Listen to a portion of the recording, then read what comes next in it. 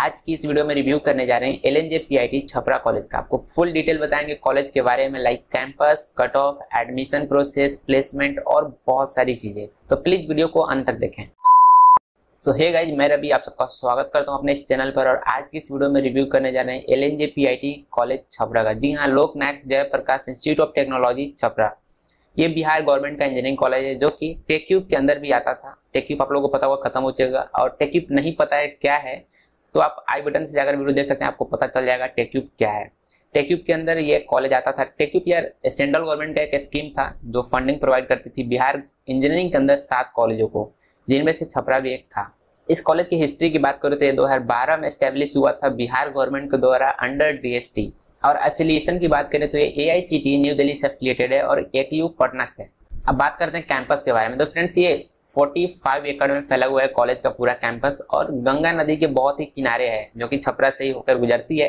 तो ये Chhapra main city से चार पाँच किलोमीटर हटकर पड़ता है। तो आप लोग इजीली वहाँ से छपरा एक्सेस कर सकते हैं और छपरा आप लोगों को पता होगा, पटना से भी ज़्यादा दूर नहीं पड़ता है।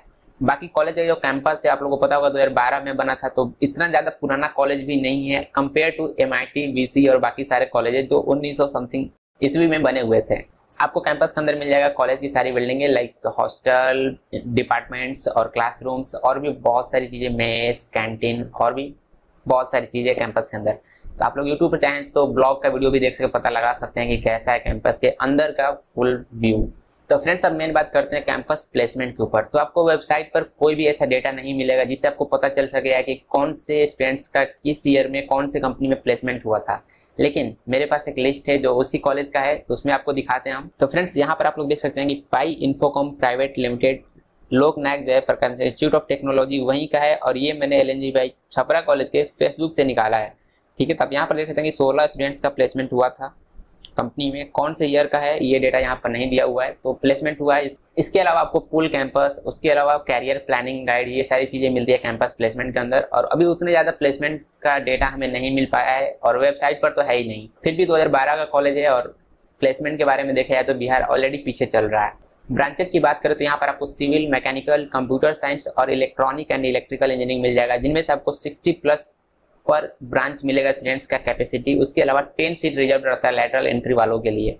एडमिशन प्रोसेस की बात करें तो आपको जेएम के थ्रू एडमिशन प्रोसेस होता है, लेकिन इस बार गवर्नमेंट ने डिसाइड किया है कि अगर सीट नहीं भरेगा तो एक और एक्स्ट्रा एग्ज़ाम लिया जाएगा इंट्रेंस एग्ज़ाम जो पहले होता था बी का। उसके अलावा अगर आपको लेटरल एंट्री चाहिए, अगर आप डिप्लोमा पढ़ के आए हैं तो आपको डायरेक्ट सेकेंड ईयर में मिल जाएगा। उसके लिए एग्ज़ाम होता है बी सी सी एल का लेटरल एंट्री का। तो वो एग्ज़ाम देकर आप लेटरल एंट्री के थ्रू सेकेंड ईयर में एडमिशन ले सकते हैं। फ्रेंड्स कट ऑफ़ की बात करें तो बिहार इंजीनियरिंग में हर साल कंपटीशन बहुत ही तेज़ी से बढ़ रहा है। अगर हम बात करें अनरिजर्व कैटेगरी की तो आपको 60 टू 70 परसेंटाइल चाहिए होगा। अगर रिज़र्व कैटेगरी से बिलोंग करते हैं तो आपको 50 प्लस परसेंटाइल चाहिए जेई मेन में। बट इस बार से 33 परसेंट सीट रिज़र्व हो चुकी है गर्ल्स के लिए तो कट ऑफ़ और भी हाई जा सकता है। तो आप लोग ट्राई करें कि इससे भी अगर ज़्यादा रहेगा तो आपको श्योरली कॉलेज मिलने का चांस रहेगा। बट ये मैंने आपको मिनिमम क्राइटेरिया बताया है। इससे कम होगा तो कोई चांस नहीं है आपको टेकिप कॉलेज मिलने का। बाकी अगर आप चाहें तो यू जी रैंक के आधार पर होता है काउंसलिंग आपको पता होगा, अगर आप नहीं पता होगा तो आप जाकर वीडियो देख सकते हैं। आपको पता चल जाएगा कि कैसे एडमिशन होता है पूरा। और वहाँ से आपको पता चलेगा कि यूजीसी रैंक आपको कितना रहेगा तो कौन सा कॉलेज मिलेगा।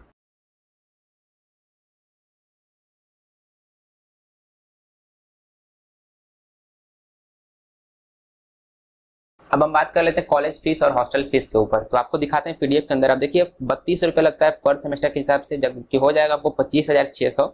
और एडमिशन फ़ीस और भी बाकी सारे चार्जर लगते हैं, दस हज़ार रुपया। दस हज़ार मतलब कि पच्चीस सौ रुपया पर ईयर के हिसाब से लगता है। और उसके अलावा ये सब हॉस्टल फ़ीस देख लीजिए, ये सब स्टूडेंट क्रेडिट कार्ड के लिए है तो इन सब आपको ध्यान नहीं देना है। हॉस्टल फ़ीस आप देखिए सिक्स मंथ के लिए लगता है, चार हज़ार समथिंग और गर्ल्स के लिए लगता है मतलब वो बॉयज़ का था, ये गर्ल्स का था, पाँच हज़ार प्लस लगने वाला है। और मेस चार्ज इकतीस सौ पचास रुपया पर मंथ के हिसाब से।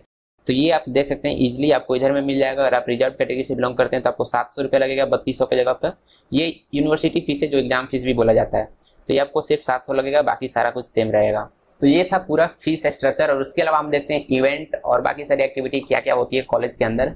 तो सबसे पहले आपको फैसिलिटी दिखा दें तो यहाँ पर आपको computer centre central library hostel sports medical guest house gym bank club wifi इनमें से आपको वाईफाई मिल सकता है, आपके अलावा गेस्ट हाउस मिल सकता है मेडिकल स्पोर्ट्स मिल सकता है हॉस्टल और लाइब्रेरी वगैरह रहता है कॉलेजों में, ठीक है? और बैंक और क्लब ये सब चीज़ें चांसेस कम रहता मिलने का और जिम भी नहीं रहता कॉलेजों के अंदर। बाकी इवेंट की बात कर रहे थे तो यहाँ पर आप देख सकते हैं लेटेस्ट इवेंट के अंदर ये सारे इवेंट होते रहता है, जो कि इंडक्शन प्रोग्राम और भी बहुत सारी चीज़ें हैं यहाँ पे इंक्लूडेड तो फ्रेंड्स ये रहा total review L N college Chhapra का। तो आप लोगों को कैसा लगा ये रिव्यू हमें कमेंट करके ज़रूर बताएँ और वीडियो अच्छा लगे तो वीडियो को लाइक करें शेयर करें अपने व्हाट्सएप ग्रुप में ताकि जिनको एडमिशन लेना हो उनको पता चल सके कॉलेज के बारे में डिटेल से।